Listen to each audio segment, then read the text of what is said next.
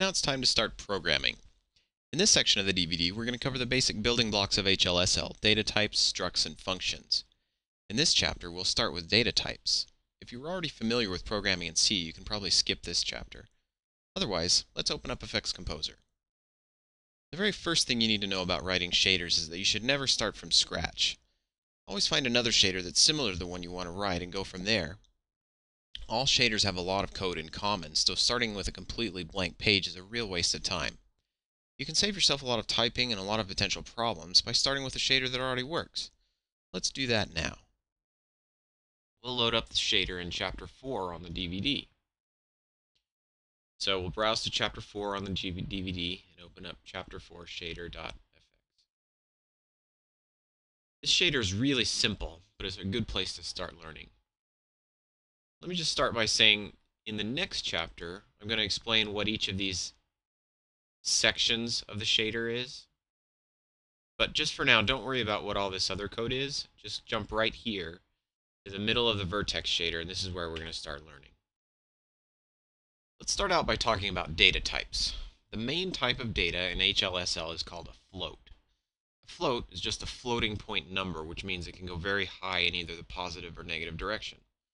Let's make a float here. We'll just type float bob equals 1.5. So there we go, our first line of HLSL code. In this line of code, float is the type of data we're creating, and bob is the name that we're giving to our data. 1.5 is the value that we're storing. All lines of code must end with the semicolon. So what does this line do? Well, we've just created a container and put something in it, basically. Float is the size of the container, bob is the name of the container, and 1.5 is the value that we're putting in the container. Pretty simple. Now let's do something else. How about float Fred equals Bob. This line makes a new float size container named Fred and puts the same thing in it that Bob has, 1.5. Now let's do some simple math. Let's do float Tom equals Bob times Fred. So any guess about what float Tom is? Yep, it's 2.25. And the reason for that is because we're multiplying the value of Bob by the value of Fred, and both Bob and Fred are 1.5. So 1.5 times 1.5 is 2.25. So Tom now holds the value 2.25. Now let's make a new type of container. This one's a double wide. We'll call it float 2. Float 2 is a, a pair of floats, so it can store two numbers. Here's how to create a float 2. Float 2 Charlie give it a name, equals float 2, 0 0.5, comma, 2. And we'll end with a semicolon. That's a little more complex. We had to give Charlie two numbers to hold, and we defined them as a float 2 by saying float 2, 0 0.5, comma, 2. So now float 2 Charlie is holding our two numbers. Float 2s are very good for holding things like UV coordinates, since UV coordinates have two values, a U value and a V value. So in this case, if this were UV coordinates, our, our U value would be 0 0.5, and our V value would be 2. Alright, let's do some more math. Let's do float 2 Joe equals Charlie times Bob. How does that work? We just multiplied a float, Bob, times a, a float 2, Charlie. Well, Bob's value is multiplied by both of Charlie's values. So Joe now equals 0.75 and 1. A float times a float is always a float. A float 2 times a float 2 is a float 2. A float times a float 2 is always a float 2. That's why when we said when we created Joe, we made him a float 2 because the result of a float 2, Charlie, and a float, Bob, is a float 2. But what if we only want to multiply Bob by one of Charlie's values? Well, here's how we do that. This time we're going to call it a float because the result is just going to be a, a, a float. We're going to say float Ted equals Charlie dot x times Bob. Now what's going on here? Well, we know Charlie is a float 2. If we only want to access one of Charlie's two values, we can use a dot x or a dot y. So in this case, charlie dot x equals 0.5. And so Ted is going to be equal charlie dot x, or 0.5, times Bob, or 1.5. So we add the dot x to the end of Charlie to tell it that we want the first value. If we wanted the second value, 2, we would add a dot y. You can also use dot .u and dot .v.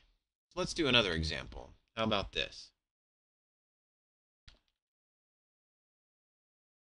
Float 2 Tim equals float 2 and some parentheses.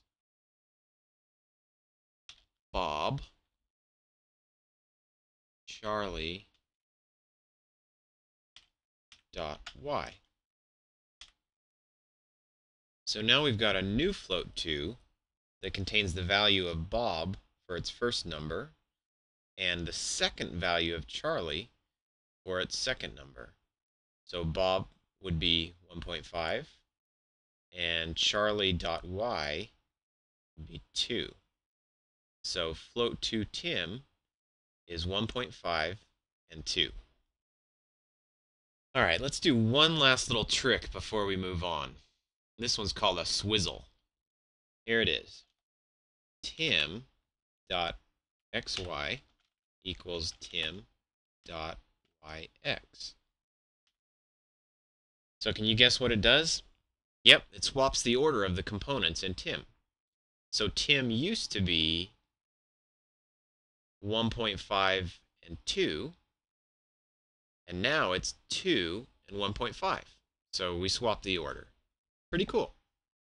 The next data type is a float 3. It's just like a float 2, except it has three slots in it. All the same rules apply that we've already talked about apply to a float 3. So, you create a float 3 like this. Float 3 John equals float 3 tim dot y bob and charlie dot x. You can multiply a float 3 by another float 3, or you can multiply it by a float. But you can't multiply a float 3 by a float 2. So you can do this. Float 3 Todd equals John times float 3 Charlie Fred. Okay, so we made a new float 3 named Todd. And Todd is equal to John times another new float 3, which contains Charlie. Now Charlie's a float 2, so we're grabbing both of Charlie's values, 0.5 and 2, and putting them in here and Fred. Fred is the same as Bob, remember. So now we've got 0.5 and 2 and 1.5 times John, which is, this is getting a little complicated, uh, 2 and 1.5 and 0.5. The neat thing about using all these variables is the computer just keeps track of it for you. Um, so you can make as many variables as you want and swap them all around and play with them as much as you want, and the computer just gets it all right, and you don't have to keep it straight at all. So here we're multiplying a float 3 by a float 3, and the result of that is a float 3. And for an example of something you can't do, you can't say float 3 Todd equals John times Charlie. We can't do this because Charlie is a float 2. John is a float 3, so that's invalid. And if we try to, let's just get rid of this line really quick. And if we try to save this, it's going to complain and say, whoops, we made a little typo here. So I'm going to fix that really quick. We save it, it's going to say cannot implicitly convert from float 2 to float 3. So it's trying to multiply a float 2, a float 2, and a float 3, and you can't do that. So let's just undo this, get back to our good line. We save this, now everything's fine again. That works. So you can swizzle a float 3 like this. Todd dot xyz equals Todd dot zyx or you can say Todd dot xyz equals Todd dot etc. You can put the components in any order you want when you're swizzling a float 3. Float 3s are good for storing vectors. A vector is a line, like surface normal or the line from the light source to the surface. Vectors have three components, so float 3s are just right for storing them. Float 3s are good for storing colors. Since colors have an R, a G, and a B value, they fit into a float 3 just right. In fact, for the components of a float 3, you can also use R, G, and B. So if you want to get the second component of Todd, you could just say Larry, whoops, float Larry equals Todd dot G. So G is the second component because it goes RGB. And if you wanted to, you could swizzle Todd like this. Todd dot RGB equals Todd dot GRB. So you can use XYZ or you can use RGB, whichever is the most convenient. Finally, you can also use a float 4. A float 4 is just like a float 3, but with one additional value. It's good for holding a color that has an alpha value, for example. Everything that we've talked about so far with float 3s also applies to float 4s.